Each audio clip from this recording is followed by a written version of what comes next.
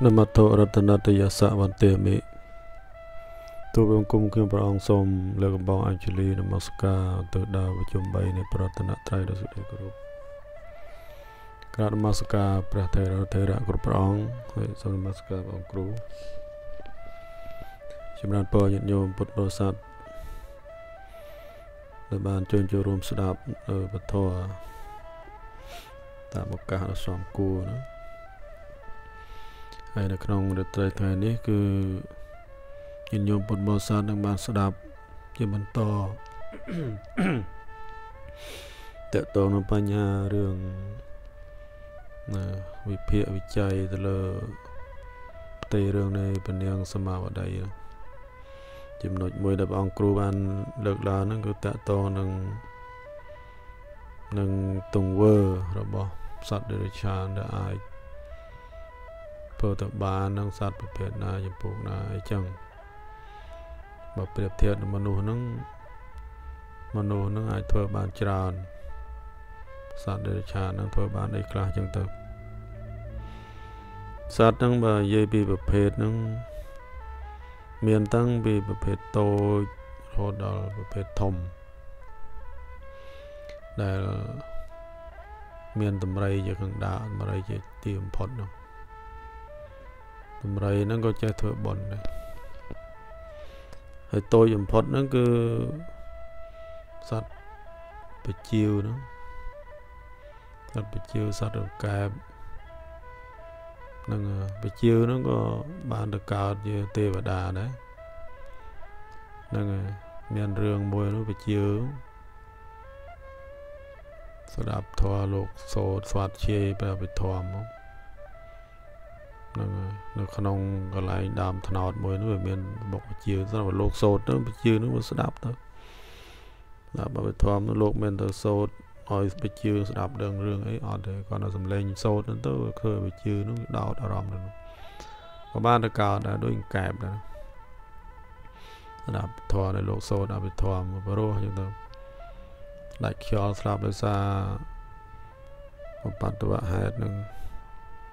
ក៏បានទៅកើតជាទេវតាអញ្ចឹងបងគ្រូសួរតើសត្វនឹងធ្វើបញ្ញកម្មអ្វីបានខ្លះបើតាមមើលទៅវាមានអឺធម្មសវណៈនោះ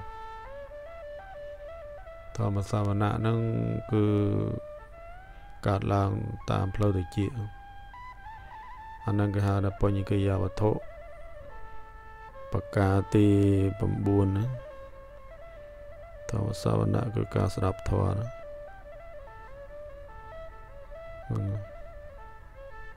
ការស្ដាប់ធម៌ឬការសម្ដែងធម៌ធម្មសាវណៈម័យនឹងសម្រេចដោយការស្ដាប់ធម៌ហ្នឹងក៏មានច្រើនដែរ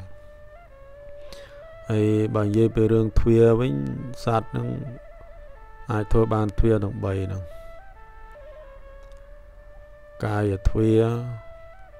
នឹង ក៏មានធ្វើដូចជាតម្រៃអញ្ចឹងมันអាចក្រាបសំពះព្រះសម្មាសម្ពុទ្ធបានមែនក៏ប៉ុន្តែកាន់ដំបងនឹងលីដំបងនឹងដល់កលឹងពុទ្ធសាសនានោះជំវិញដល់ទៅដល់អំណាចនៃកាយកាយនោះគឺជើងនោះហ្នឹងបំរើពុទ្ធសាសនានឹងយកទឹកយកគឺបំរើដោយកាយមិនបាននេះគឺកាយកម្ម វចីកម្មហ្នឹងគឺតម្រៃហ្នឹងក៏ធ្វើដែរតម្រៃព្រោះតម្រៃហ្នឹងដើរក្បែរក្បែរហ្នឹងស្រែកដូចឆ្កែហ្នឹងក៏ស្រែកដែរឆ្កែហ្នឹងក៏ធ្វើដោយវិចីមិនមែនមិនមែននមស្ការដល់ព្រះបច្ចេកពុទ្ធទេសត្វឆ្កែហ្នឹងក៏បណ្ឌិតស្រែកឲ្យសត្វទាំងឡាយដតីផ្សេងនៅក្បែរហ្នឹងរត់ចេញទៅនឹងគម្រាមសត្វទាំងឡាយផ្សេងផ្សេងនោះឲ្យរត់ចេញទៅខ្លាចទៅហ្នឹងគឺដំណើរនៃវចីកម្ម ហើយកាយកម្មនេះឆ្កែហ្នឹងគឺទៅទៅដឹងទៅរត់រត់លឿនអញ្ចឹងទៅកាយកម្មបច្ច័យកម្មមកស្រែកគម្រាមសត្វមកមកមកចិត្តផ្លូវហ្នឹងព្រោះផ្លូវហ្នឹងព្រះបច្ចេកពុទ្ធនឹងនិមន្តមកឡើយឆ្កែហ្នឹងស្រែកបដារត់ទៅបដានោះបោលទៅបដានោះបោលទៅដល់អាស្រមរបស់ព្រះបច្ចេកពុទ្ធហ្នឹងក៏បានស្រែកទៀតស្រែកស្រែកទៅប៉ុន្តែវាមានភាសាអីគាត់ថាលើសំឡេងដូចព្រុសអញ្ចឹងកែព្រះបច្ចេកពុទ្ធ លោកលឺសំឡេងទៅថាឆ្កែមកគឺឆ្កែហ្នឹងធ្វើបានដោយអំណាចនៃ វជ័យទ្វាហើយមโนទ្វាហ្នឹងសុធាណាឆ្កែហ្នឹងគឺសុធានឹងព្រះជ័យកពុទ្ធហ្នឹងគឺស្រឡាញ់មិនថាព្រះជ័យកពុទ្ធទេសំបីតែម្ចាស់ហ្នឹងក៏ឆ្កែហ្នឹងស្រឡាញ់ដែរយើងមើលទៅតម្រៃហ្នឹងក៏ស្រឡាញ់ឆ្កែហ្នឹងហើយតម្រៃក៏ស្រឡាញ់ព្រះសាស្តាដែរគោរពព្រះសាស្តាហ្នឹងគឺកាយទ្វាវចីទ្វាមโนទ្វាហ្នឹង ប៉ុន្តែបើមើលទៅគឺទាំងតម្រៃនឹងក្តីស្វានឹងក្តីហ្នឹងគឺឆ្កែហ្នឹងក៏ដូចគ្នាដែរប្រៀបធៀបទៅគឺកាយកម្មទាំងអស់នោះសុទ្ធតែជាកុសលទាំងអស់យើងមើលកាយកម្មធ្វើទៅដើម្បីបម្រើព្រះសាស្តាស្វាហ្នឹងក៏ធ្វើការលោតចុះលោតឡើងទៅរណែឃុំរអីហ្នឹងដោយអំណាចនៃកាយទ្វាហ្នឹងសុទ្ធតែដើម្បីជាកុសលទាំងអស់ ហើយចិត្តហ្នឹងគឺឃើញតម្រៃហ្នឹងស្វាហ្នឹងឃើញតម្រៃបំរើសាស្តាទាំងព្រឹកទាំងល្ងាចទាំងយប់ផងហ្នឹងมันมันมันដាក់ធុរៈចោលហ្នឹងឃើញអញ្ចឹងគឺចិត្តហ្នឹងគិតសុធាសុធាហើយឃើញថាព្រះសាស្តាហ្នឹងគឺជាបុគ្គលដែលគួរបូជាណាព្រះអង្គសគុតសគុំនៅក្នុងព្រៃបល័យកៈហ្នឹងស្វាហ្នឹងក៏ញ៉ាំងចិត្តឲ្យកើតដូច្នេះមានន័យថាបើនិយាយពីធ្វើបនបានហ្នឹងគឺសត្វហ្នឹងអាចធ្វើបនបានមកចម្ពោះខ្លះទៅ ធ្វើបនបានទាំងទ្វាទាំង3ហ្នឹងគឺកាយទ្វាវិច័យទ្វាមโนទ្វាប៉ុន្តែបើប្រៀបធៀបមកទៅទាំងឆ្កែទាំងដំរីទាំងទាំងស្វាហ្នឹងគឺកាយកម្មហ្នឹងសុទ្ធតែប្រកបដោយកុសលនឹងយើងមើលតម្រៃដើរជុំវិញប្រសស្ដាការពារប្រសស្ដាទៅយប់ទាំងថ្ងៃហ្នឹងគឺដំណាយទៅកុសលហៅថាវិរិយៈសេចក្តីព្យាយាមរបស់តម្រៃហ្នឹងគឺប្រព្រឹត្តទៅជាកុសលទាំងអស់ ហើយវិចារដែលនិយាយចេញហ្នឹងគឺសុទ្ធតែកុសលដើម្បីដេញសត្វទាំងឡាយគម្រាមសត្វទាំងឡាយកុំឲ្យមកចិត្តព្រះសាស្តាអញ្ចឹងទៅកុំឲ្យមកចិត្តដងផ្លូវព្រះជ័យពុទ្ធដើរនិមន្តមកអញ្ចឹងទៅគឺជាកុសលហ្នឹងគឺអញ្ចឹងមានន័យថាសត្វហ្នឹងបើអាចធ្វើបានហ្នឹងគឺនៅក្នុងលក្ខខណ្ឌខ្លះហ្នឹងគឺធ្វើដោយអំណាចនៃកុសលហ្នឹងល្អប៉ុន្តែមិនច្រើនហ្នឹងវាមិនច្រើន មិនមែនថាឆ្កែទាំងអស់មិនមែនថាតម្រៃទាំងអស់ហ្នឹងអាចធ្វើបន់បានដូចជាតម្រៃប៉ែឡាយកៈទេវាមានមួយចំនួនហ្នឹងមានតែមួយអញ្ចឹងទៅសម័យព្រះក៏មានតែមួយប៉ែឡាយកៈហ្នឹងហ្នឹងហើយបើស្វាហ្នឹងក៏មានតែមួយដែរសម័យខោសកៈឆ្កែក៏មានតែមួយនៅដែលបានទៅកើតទេវបុត្រផ្សេងផ្សេងទៀតក៏បើនិយាយពីរឿងចិត្តគំនិតហ្នឹងវាត្រង់មែនហើយសត្វទាំងអស់ហ្នឹង ប៉ុន្តែគាត់ថាឱកាសនៃការធ្វើបុណ្យជាមួយអ្នកមានបុណ្យខ្ពស់ដូចជាព្រះវិជ័យកពុទ្ធហ្នឹងវាអត់ទៅមានកាលទៅវានឹងអត់បានម្ចាស់ល្អទៅរស់នៅកណ្ដោចកណ្ដែងស្រ័យសម្រាប់ផ្ទះគេទៅវាអត់មានបានចូលចិត្តដោយអំណាចនៃការស្រឡាញ់របស់ម្ចាស់ហ្នឹងទៅម្ចាស់ឧបត្ថម្ភព្រះវិជ័យពុទ្ធចឹងទៅសត្វឆ្កែនេះក៏បានមានសម្ព័ន្ធភាពមានភាពសុទ្ធសាធព្រះចក្រពុទ្ធនឹងទៅក៏បានបុណ្យកុសលនឹងគេហៅជាអនុសងកើតឡើង អាហ្នឹងក៏មានអញ្ចឹងដែរប៉ុន្តែគាត់ថាវាមិនមែនទាំងអស់ទេវាភាគតិចហ្នឹងភាគតិចដូចជាបើយើងនិយាយអំពីបញ្ញកិរិយាវត្ថុហ្នឹងគឺទៀនសត្វក៏អាចធ្វើទៀនបានដែរព្រោះតម្រៃហ្នឹងបលឹមឡាហ្នឹងគឺរៀបចំផ្លែឈើហើយចង់ប្រគេនព្រះសាស្តាដែរប៉ុន្តែព្រះសាស្តាក៏ស្ដេចយើងទៅបិណ្ឌបាតធម្មតាដែរទៅតែមកនឹងតម្រៃក៏ចិត្តតែយកផ្លែឈើនេះផ្លែចេកផ្លែអីហ្នឹង តម្រៃហ្នឹងអាចរកបាននៅក្នុងព្រៃហ្នឹងយកប្រគេនព្រះអង្គគឺអាចធ្វើទានបាននិយាយពីពុញកិយាវត្ថុបើនិយាយពីទ្វាវិញគឺទ្វានឹង3ធ្វើបានពុញកិយាវត្ថុគឺមានទានបើអសិលហ្នឹងគឺគ្នាមិនដឹងទេសីលមយៈហ្នឹងពុញកិយាវត្ថុទី2ហ្នឹងមិនដូចមនុស្សទេមនុស្សធ្វើទៀនមកអាចរសាសិលផងប៉ុន្តែរសាទនឹងធ្វើទៀនទៅតម្រៃធ្វើទៀនហើយស្វាក៏ធ្វើទៀន ប៉ុន្តែដល់ពេលនិយាយពីបជានិយាយពីកង្កែបវិញអាហ្នឹងទៅជាធម្មសវណៈមយៈបុណ្យសម្រាប់ដោយការស្ដាប់ធម៌ស្ដាប់ទៅសំឡេងឮសំឡេងពធហ្នឹងបុណ្យសម្រាប់មិនអត់បានធ្វើទៀនទេទេបានចំណុចមួយនោះហើយអាចបានរក្សាសិលអីទេប៉ុន្តែបើនិយាយពីរឿងបើនិយាយពីរឿងធម៌ក៏ត្រទ្រង់ធម៌វិញបជាវហ្នឹងក៏មានការត្រទ្រង់របស់ធម៌គឺសេចក្តីអត់ធន់ ខន្តីអត់ធន់ហ្នឹងស្ដាប់ទៅហើយវាទៅជាភ្លឹកនៅសំឡេងធម៌ហ្នឹងធ្លាក់ពីដើមថ្នោតមកស្លាប់ទៅកើតជាទេវតាបាត់ទៅដោយអំណាចនៃការភ្លឹកនៅក្នុងហ្នឹងខន្តីអត់ធន់ស្ដាប់ហ្នឹងកែបអញ្ចឹងអត់ធន់អត់ស្រែកទេខ្លាចដាច់ធွာមិនដឹងជាគិតយ៉ាងម៉េចថាខ្លាចដាច់ធွာដែលវាលើសមនុស្សទៀតហ្នឹងមនុស្សមួយចំនួនហ្នឹងបានទេគេកេះបន្តិចហ្នឹងក៏ខ្ញាល់ នឹងទោះបីយើងដឹងថាលោកកំពុងសម្ដែងធွာអីក៏អត់មានខ្វល់ដែរប៉ុន្តែអង្កែបហ្នឹងលោកសម្ដែងធွာហ្នឹងកំពុងអសូតហ្នឹងវាអត់ស្រែកគេស្កត់ទៅលើហ្នឹងអត់ស្រែកមកបើស្រែកទៅអ្នកកងវិលគោហ្នឹងដកជន់លួយនឹងចេញដល់រំពាត់នឹងចេញទៅអាចរស់បានតប៉ុន្តែអង្កែបវាអត់ធន់អត់ធ្មត់អត់ស្រែកនៅគិតថាខ្លាចដាច់ធွာនៅដោយអំណាចនៃការគោរពនៅពធនោះព្រោះពេកចឹងទៅ សុកចិត្តអត់ដល់អត់ទៅវាគេសង្កត់កាន់តែខ្លាំងទៅវាស្លាប់បាត់ទៅអាហ្នឹងគឺវាធ្វើបានអញ្ចឹងរួចអង្កែបនៅមួយមួយហ្នឹងមានអានុភាពអញ្ចឹងហើយសុទ្ធតែទៅកើតជាទេវតាទាំងអស់ហ្នឹងផ្ទុយទៅវិញមនុស្សយើងអញ្ចឹងហ្នឹងយើងនិយាយទៅវាហើយអាចថាប៉ះពាល់អញ្ចឹងដែរមនុស្សយើងកាលណាដែលមានលឺអ្នកនោះនិយាយចេះពងស្ដាប់ធម៌ហ្នឹងខ្ញាល់គេហ្នឹង តមាត់តកមុខលោកពងសំដែងធម៌នឹងអត់អត់បានស្ងៀមស្ងាត់ទេ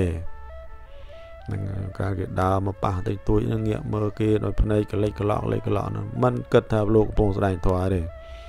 ត្រូវការនិយាយអីក៏និយាយទៅ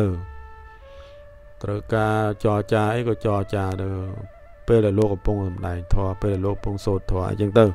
មនុស្សយើងវាមានអញ្ចឹងបើណាបើនិយាយចំទៅគឺមិនមែនទាំងអស់ដែរ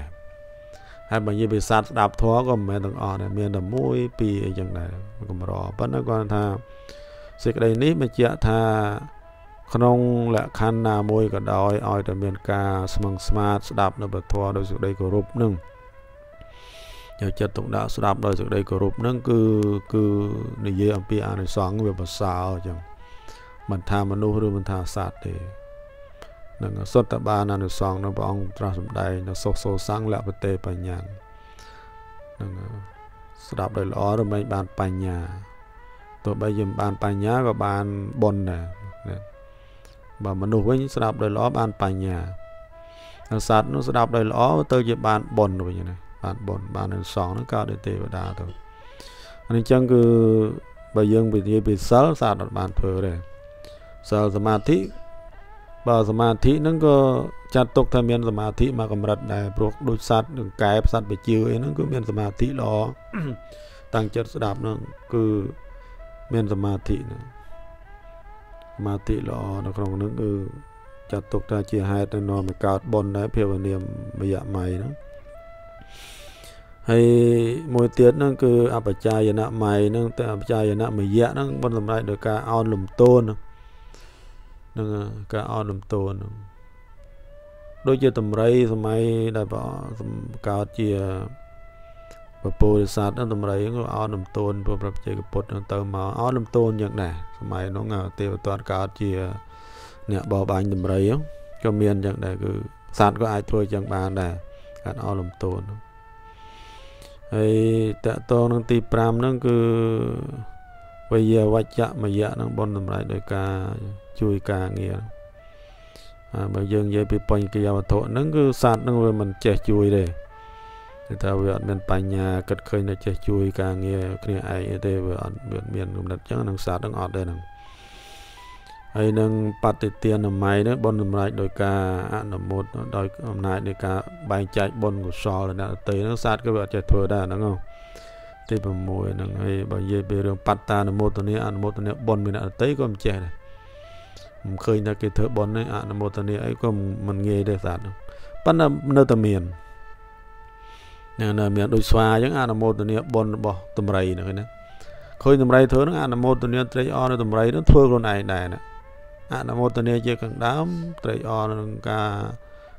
អឺដែលតម្រៃនឹងប្រពនៅសេចក្តីព្យាយាមហៅថាសវាសុទិញខ្នះខ្នែងហ្នឹង ហើយស្វាហ្នឹងអនុមោទនាមួយដែរបត្តាមោទនាគឺសត្វខ្លះទៅក៏អាចធ្វើបានដែរហ្នឹងបញ្ញគិយវត្ថុហ្នឹងហ្នឹងហើយការស្ដាប់ធម៌ហ្នឹងស្ដាប់ធម៌ហ្នឹងគឺតម្រៃហ្នឹងតម្រៃហ្នឹងស្ដាប់បង្គាប់នឹងស្ដាប់បង្គាប់តាមព្រះសម្មាសម្ពុទ្ធព្រះអង្គត្រាស់មិនក៏ស្ដាប់តាមហ្នឹង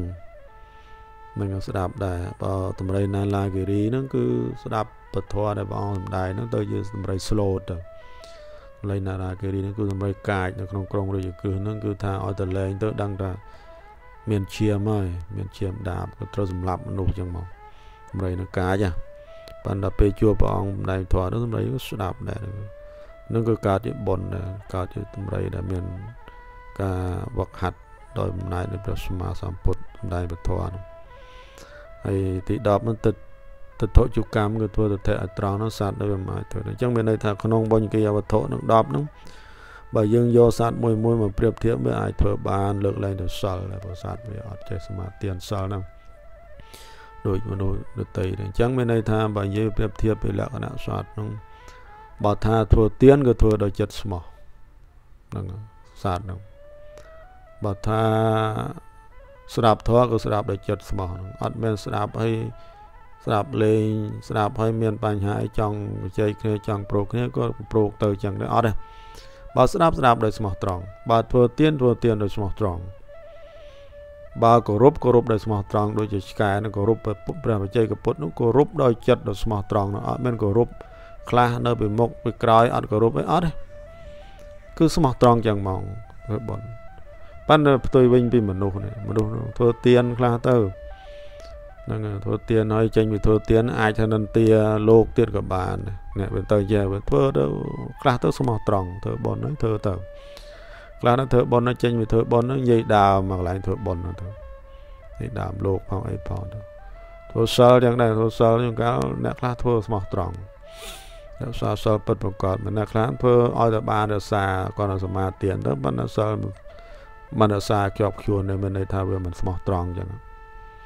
មិនច្បាស់លាស់ដូចមកប្រៀបធៀបទៅវាបើសត្វហ្នឹងមើលតាមសេចក្តីផ្ទៃរឿងហ្នឹងគឺថាធ្វើអ្វីធ្វើពិត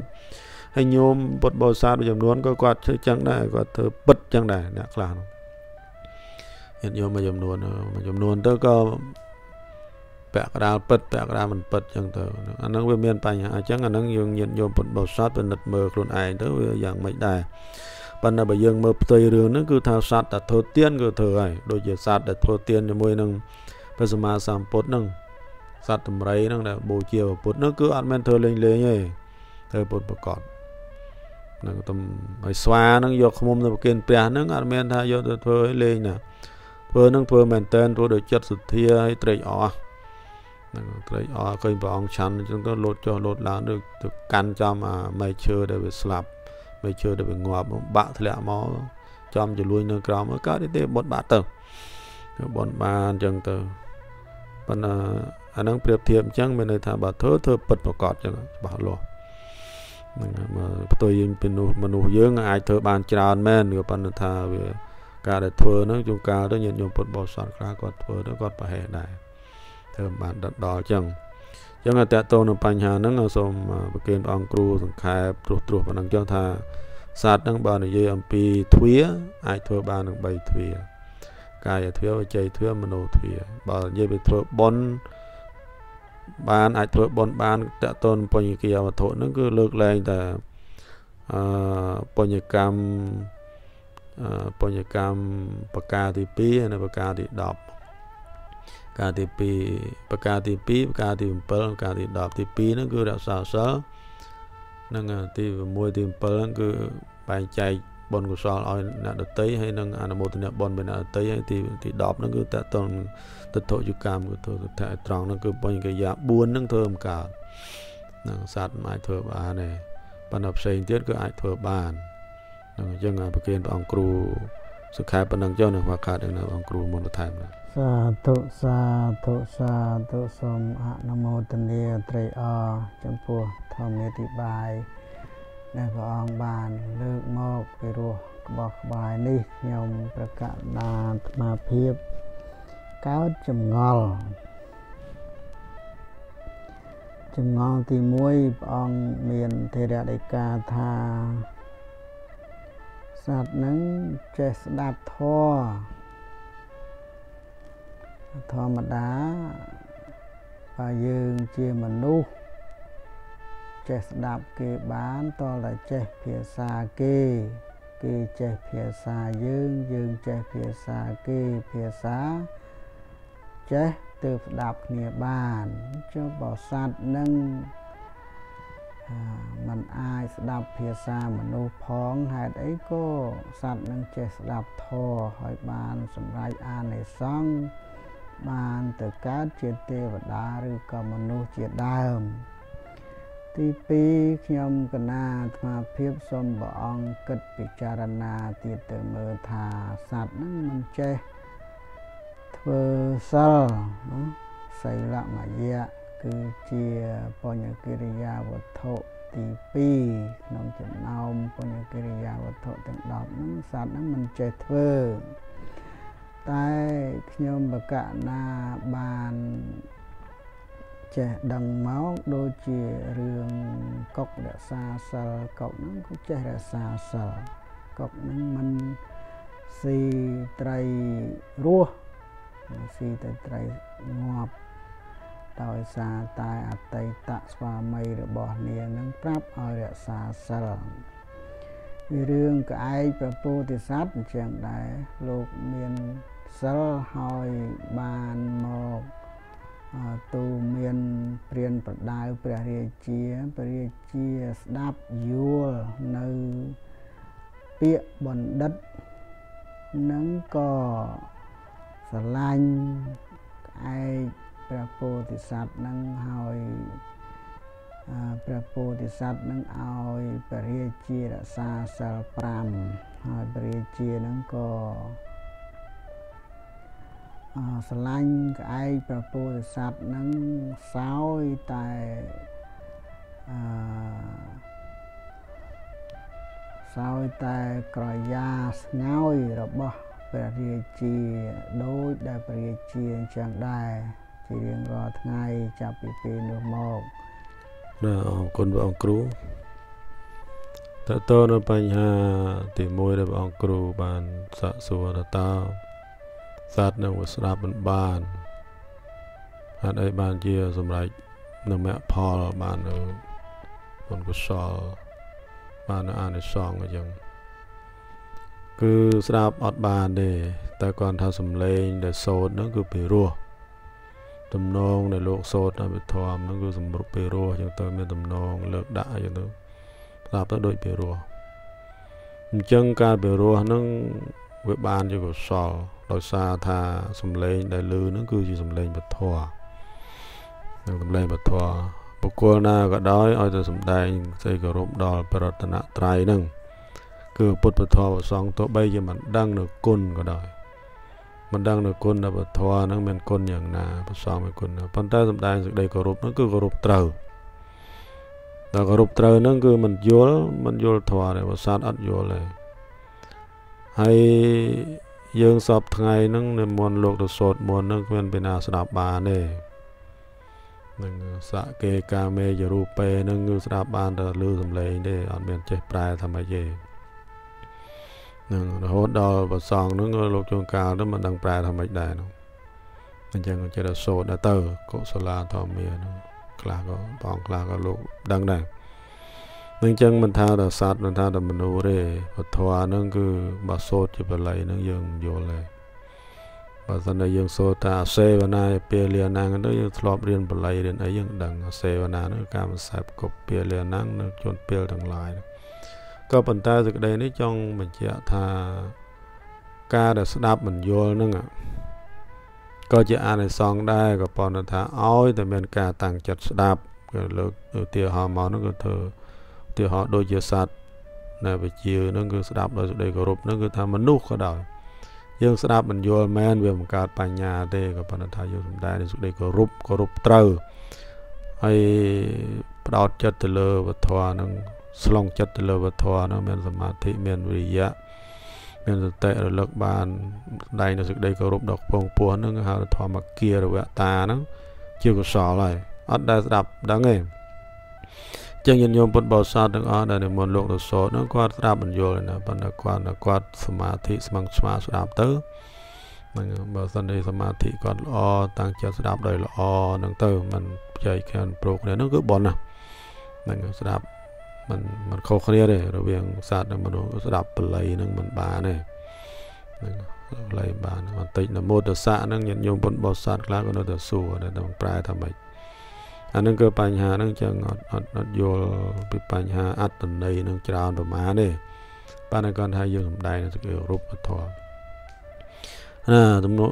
ចំណុចទី2ដែលព្រះអង្គគ្រូបានលើកឡើងហ្នឹងគឺខ្ញុំកណាយកស្របតែអញ្ចឹងហ្នឹងតកតងនៅបញ្ហាសត្វកាន់សិលហ្នឹងប៉ុន្តែបើយើងវិភាគនៅក្នុងរឿងហ្នឹងរឿងដូចជាឆ្កែដូចជា